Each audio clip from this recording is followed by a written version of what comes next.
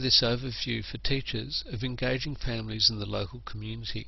I'm Graeme Stuart, a Community Engagement Lecturer at the Family Action Centre, which is part of the University of Newcastle. Across Australia, there's an increasing awareness of the importance of school community partnerships and the value of schools engaging families in the local community. There are a range of reasons we might want to engage families. There's extensive research showing that partnerships between schools, families and communities strongly and positively affect student achievements, including improved school readiness, higher retention and graduation rates, enhanced cognitive development and academic achievement, higher motivation and greater ability to self-regulate behaviour, and better social and relationship skills. There's also an increasing emphasis on community engagement in policy. The Melbourne Declaration, which was signed by federal and state education ministers in 2008, set the agenda for Australia's educational future.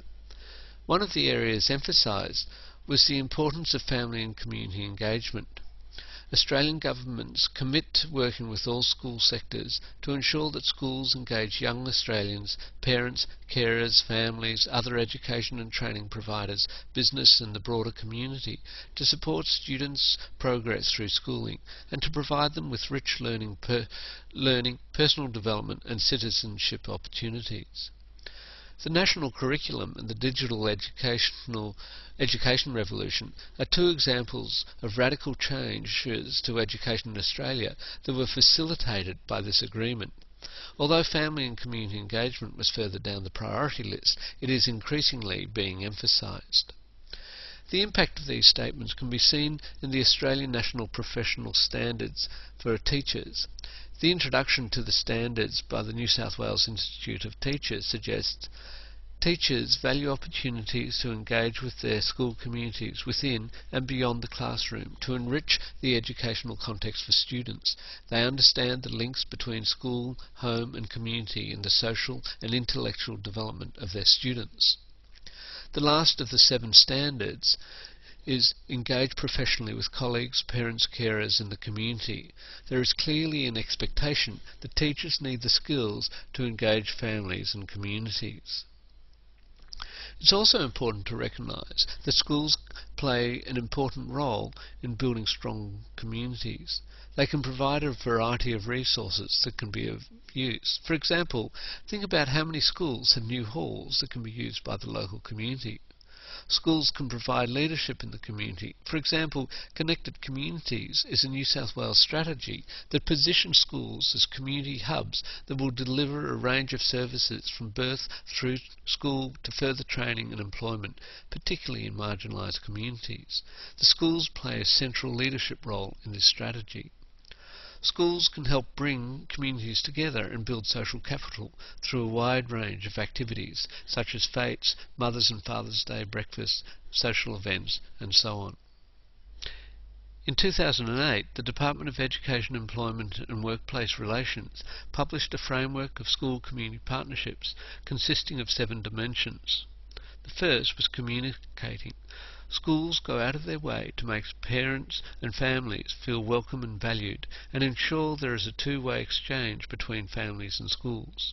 Number two, connecting learning at home and school. Families and schools understand the overlap between the home and school environments and work together to create positive atti attitudes to learning in each child. Number three, building community and identity. Schools facilitate activities that improve the quality of life in a community while honouring the culture, traditions, values and relationships in that community. Number four, recognising the role of the family emphasises that as primary educators of their children, parents and families have a lasting influence on their ch children's attitudes and achievements at school. They can encourage their children's learning in and out of school and are also in a position to support school goals, directions and ethos. Parents look to schools to provide secure and caring environments for their children. Number five, consultative decision making. An inclusive approach to school decision making and parental involvement creates a sense of shared responsibility among parents, community members, teachers and school leaders. Number six, collaborating beyond the school. The wider community can provide services which strengthen and support schools, students and their families. And number seven, participating. Families' time, energy and expertise can support learning and school programs in many ways. And this framework provides a useful um, place to start when considering about family and school partnerships.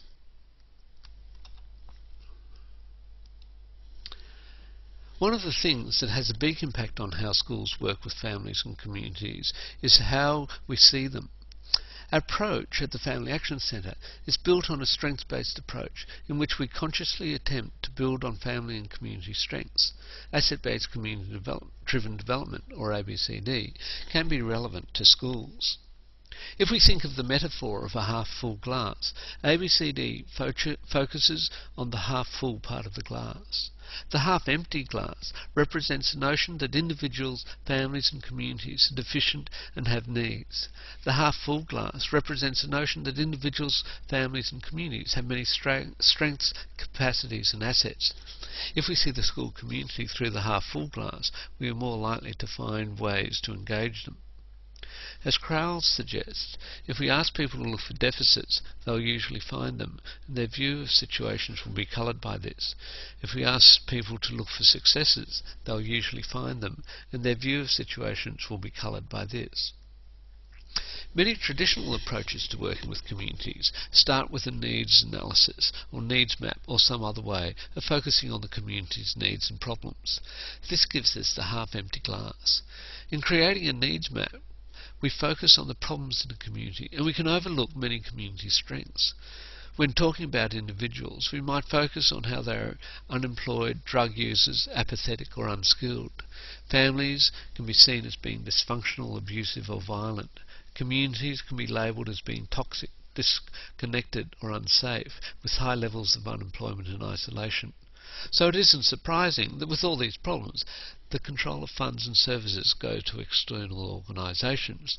As a school, it doesn't give us a lot of, of to, to work on and to build on in engaging the school community. ABCD is built on four foundations. It focuses on community assets and strengths rather than problems and needs. It identifies and mobilises individual and community assets, skills and passions. It's community driven, what Kretzmann and McKnight call building communities from the inside out, and it's relationship driven. And all of these apply in a school context. We can ask questions in two ways. We can ask, what are the needs of our school community? What's wrong with our community? What problems can we fix? What's broken? Or we can ask, what are the strengths and assets of our community? When was our school community at its best? What do we value most about our community? What is the essence of our community that makes it unique and strong? When we look at our community, we can look at broad, six broad types of assets or strengths. We can recognise the skills and abilities of individuals within the community and actively look for people who are passionate about the community, who are good at making connections or have skills they would be willing to share. We can identify voluntary community organisations and networks and what they offer or could offer to the school.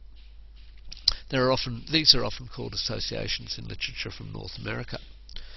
When we look at what institutions we can look at what institutions, e.g. non-government organisations, not-for-profits, government agencies and businesses, are already connected to the school and the community. We can pay particular attention to small local institutions. We can look at our physical environment, both natural and built, in a new way. We can look at the local community in a broad way so that we include the informal economy, for example, people swapping goods and services and voluntary work, as well as the traditional economy, for example, production and consumption. And finally, we can appreciate the stories, culture and heritage of the community when to look at individuals and community assets, it's important to remember that we're looking for opportunities to build relationships and to build connections. We aren't creating a directory. The value in asset mapping is bringing people together so that they discover each other's strengths and resources and to think about how they can build on what is already in the community. My experience suggests that the most important thing is our attitude. If we focus on individual and community strengths and are committed to engaging families and communities, then we will find ways to do it. There are many great examples of teachers and schools that do amazing things with their school community. I'd love to hear about great examples and what works for you.